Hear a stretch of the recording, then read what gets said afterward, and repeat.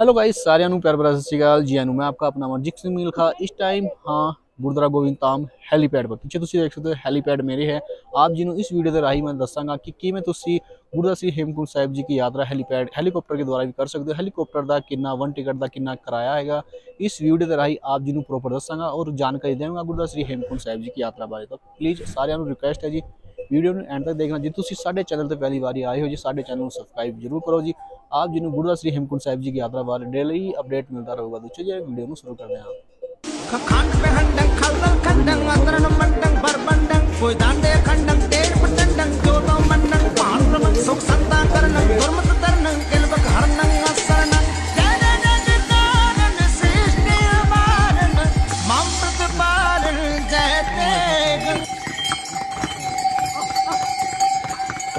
day.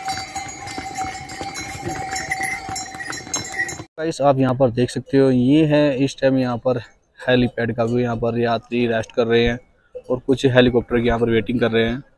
यहाँ पर देखिए, बहुत ही अच्छा व्यू है व्यू आप देख सकते हो, यहाँ पर गुरुद्वारा गोविंद धाम के पास का व्यू है और यहाँ पर ये हेलीपैड है। हेलीपैड यहाँ पर अभी टेक ऑफ़ होगा।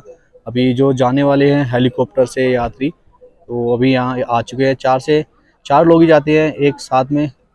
और उधर सामने से यहाँ पर टिकट का इनका टिकट काउंटर है यहाँ से टिकट मिल रहा है। यहाँ से आप अपना टिकट ले सकते हो जो इस साल 2024 में टिकट का प्राइज है गुरुद्वारा गोविंद धाम से गुरुद्वारा गोविंद घाट तो आपका तीन हज़ार रुपये यहाँ पर किराया पड़े पड़ेगा। अगर आपका वज़न अस्सी के जी है तो तीन हज़ार सेम रहेगा किराया। अगर आपका ज़्यादा है नब्बे किलो वज़न है तो आपको पर के जी के हिसाब से सेवेंटी फाइव रुपीज़ देना पड़ेगा।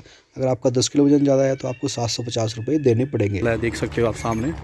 अभी मैं हेलीपैड के बिल्कुल करीब पहुँच चुका हूँ, ये हमारा हेलीकॉप्टर अभी आने वाला है, यहाँ पर इस साइड में लैंड होगा। तो यहाँ पर देखिए, आप देख सकते हो।